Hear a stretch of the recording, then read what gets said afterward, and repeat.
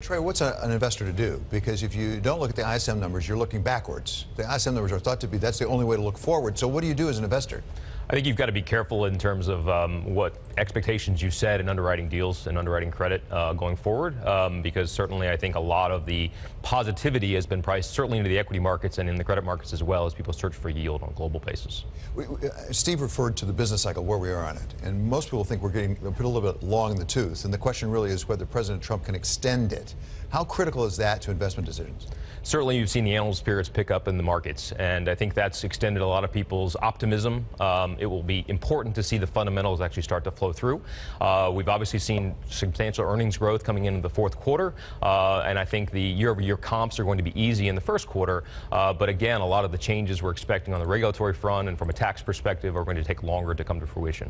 Trey, as you look at the situation, the story is an optimistic one. Let's talk about the price of the story and credit right now. It looks incredibly expensive. What is your view on that? Yeah, certainly the broader credit markets have seen a huge bid, uh, in particular floating rate as people have looked for an inflation hedge in some place to mitigate the potential risks of rising rising interest rates. Um, I think there are certainly sectors that are underperforming and, and beleaguered, if you will, uh, relative to the rest of the market. And I think you have to be careful looking at those opportunities. But uh, you look at sectors where I think there are still opportunities like retail, uh, certainly a, an industry that's going through secular shifts, uh, but a sector where there are going to be winners and losers um, based on what the consumer is doing doing. Uh, the, obviously, where we are in the job cycle um, and in terms of full employment and wage growth, I think that there is a potential bid, um, you know, for uh, consumers to to improve. So, so, Trey, when we talk about the growth numbers that Steve was talking about, 2.3%, 2.5%, shouldn't we just get used to it, that this is the new normal, instead of a 4% number, in the sense that you have to get productivity really growing again, and no one seems to have a plan for that?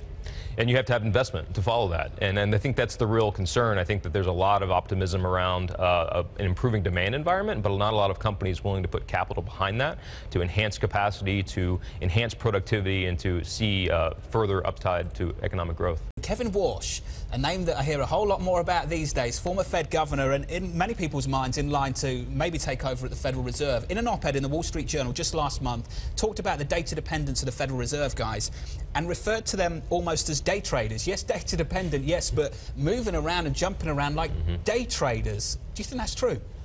Look, I think at the end of the day, Janet Yellen is a labor economist, and she's watching the tightness of the labor markets. Um, I think that they are definitely worried about getting behind the curve, and so we think some of the data that's recently come out of CPI and some of the job opening we've seen is certainly uh, begging for a rate uh, rate rise before the middle of the year, before June. So let's ask the big question, Steve, that, that Kevin Warsh suggests. Uh, Congress, people in Congress would like to help uh, the Federal Reserve get out of that jam by essentially having rules uh, so it's not data dependent. So they can't jump back and forth and things like that.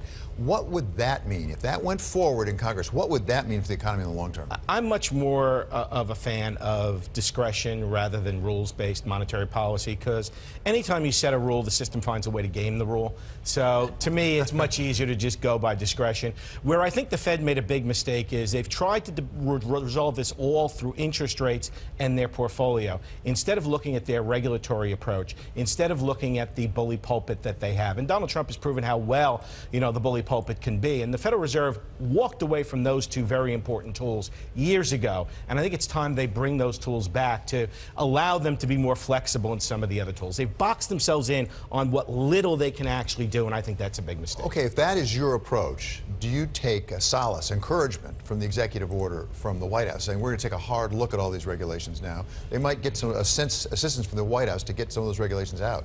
Well, I think that's exactly what's going to happen. I don't think you have to change the regulations to, certain extent. All you have to do is change the interpretation of some of these regulations. I mean, we've put very, very, very onerous restrictions on a lot of these financial institutions. And if you look at the loan to deposit ratio in this country, it is actually abysmal, which is one of the reasons why this economy can't get going. Everyone's so paranoid about leverage, but you know what? Leverage is the grease that makes the wheels spin. And without that grease, the wheels eventually seize up. And that's been part of the problem in here. As far as that reference to day traders goes, a, a Bloomberg client just messaged me and said, nope, tick traders.